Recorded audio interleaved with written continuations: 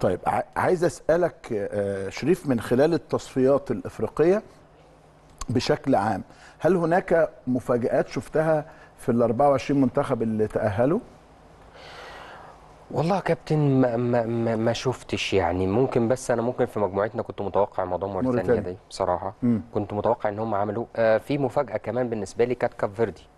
كاب فيردي آه كاب فيردي آه، كانت. كانت لا كانت مرعبة في ال- مفاجأة، في آه. أمم أفريقيا نعم. اللي فاتت كانت بالنسبة لي آه، صعبة قوي يعني انت. أنت وديت السكواد ده فين أنا حاسس ان إن فيتوريا هو اللي كان مخليها مرعبة لا لا ما قدام غيرك قدام ده المنافسين فيتوريا الآخرين. خلى كمان لا، خلى موزمبيق مرعبة مرعبة. آه، صحيح آه صحيح آه بس بس هم قدموا مستويات آه،. كملوا حتى بعيدا عن. مصر قدموا مستويات رائعة. لكنك باعتبارك كنت متابع أول المنتخب السوداني شفت تأهل السودان إزاي وخروج غانا المخزي ده إزاي؟ ما كسبوش ولا ماتش وتعادلوا ثلاث ماتشات فقط لا غير. بالظبط يعني أنا يعني خسارة أو أو عدم ترشح آه، موريتانيا طبعا أصاب زعلنا، الجمهور إحنا العربي بنحب- بنحب آه، موريتانيا. حتى نعم.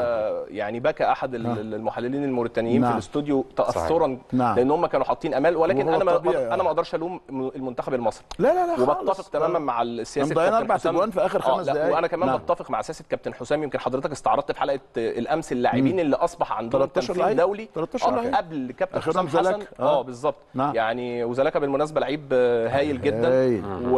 وعايز أقول لك كمان يا كابتن ممكن يكون هو الجناح الأفضل في عملية التحولات زلاكا في مباراة سيراميكا. آه ال- السوبر وال- والدوري عمل التحولات بشكل مميز صحيح، جدا صحيح. فكابتن حسام واضح إن حسام عبد المجيد بالمناسبة آه. عمل مستوى كبير جدا من لما شارك هايل. وعنصر هايل جدا عمر فايد كمان جاي في السكة نعم. يعني السياسة اللي اللي بينتهجها كابتن حسام حسن أنا بتفق في معاه فيها 100%